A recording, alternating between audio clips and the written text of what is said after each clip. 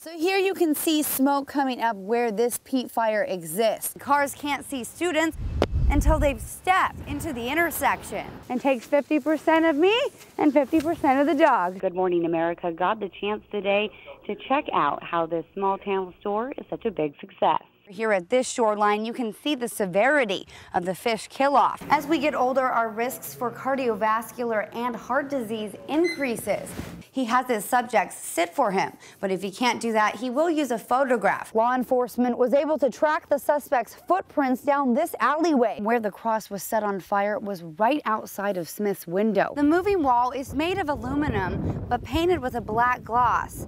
John Wongberg has been a teacher here at Central Elementary School since 1986, and it was here at this very school on March 17th of 2011 that the mother of a kindergarten student came forward to the school principal with allegations that Wongberg had inappropriately touched her daughter.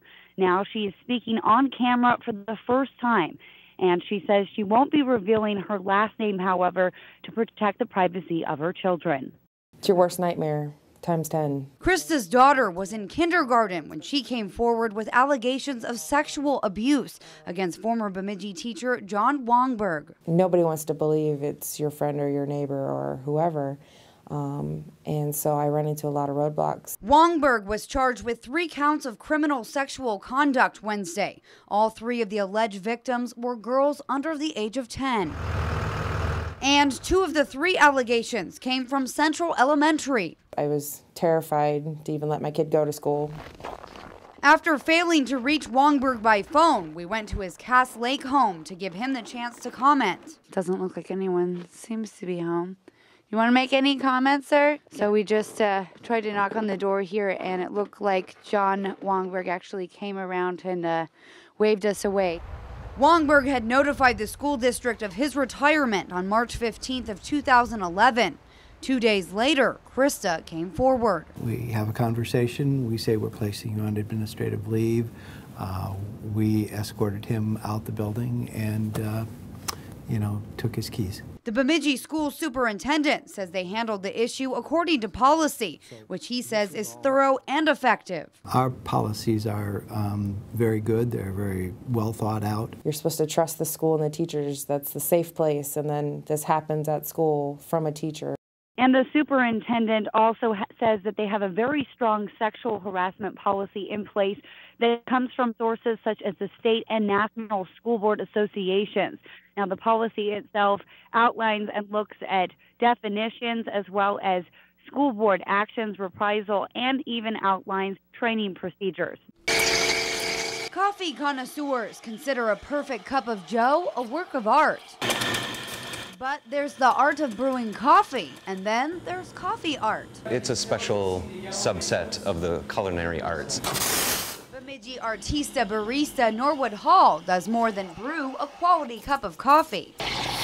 He can take a simple espresso and turn it into edible art.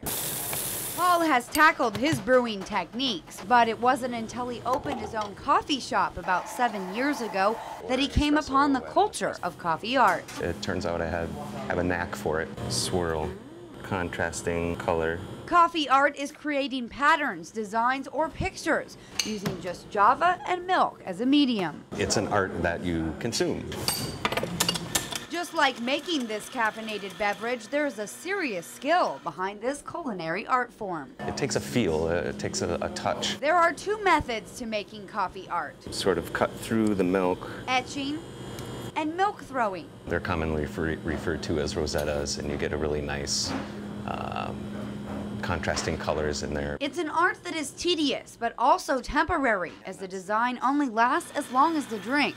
And if it's a good cup of coffee, that's merely minutes. It literally starts to disintegrate the, as soon as it's done, so you have very little time with it. While this edible art can only be enjoyed for a few minutes, Hall says it's a gratifying creation because it's a multi-sensory experience, something that you can enjoy with your eyes and your stomach. The fact that they get to enjoy it with their with their mouths and their tummies that makes up for the fact that it doesn't exist forever. So coffee art cannot be truly appreciated until it's consumed. And this Java junkie would much rather see his designs digesting in someone's stomach than hanging on someone's wall. Right in between the two signs up here, uh, there was a pile of bags. Because of one person's poo poo, Beltrami County officials are in deep doo doo. There was bed pads and uh, diapers with human waste in them and catheters, and uh, it was strewing all about about the ditch. In the last four years, a dirty diaper dumper has been leaving their stink behind for the county to clean up. Not a pleasant job to have to pick that stuff up. These diaper dumpings are all happening in the same few spots off Highway 89 in the Pinewood area, most recently on County Road 22. But this is more than just a bizarre case. Disposing of this bandit's biohazardous waste is costing the county and taxpayers. to go pick this stuff up. These guys have to wear uh, protective gear when they go handle this stuff to get it. And the real stink of the situation is that only a mile from where this dirty diaper dumper flung his feces, there's an actual waste management center perfect for disposing of duty. Everybody pays about $121 a year on their taxes, and that's for them to be able to dispose of stuff like that. I mean, it's there's no reason to be throwing it out in the woods. Human excrement or other home hazardous waste can be dropped off at any area dump. Sheriff officials can only speculate that the perpetrator might assume disposing of the duty diapers properly might cost money or require extra handling. The county is getting sick of going and picking up this waste. Yeah. We just want it to stop. It's a duty of a dilemma, but the sheriff's department is determined to dispose of this poopy problem.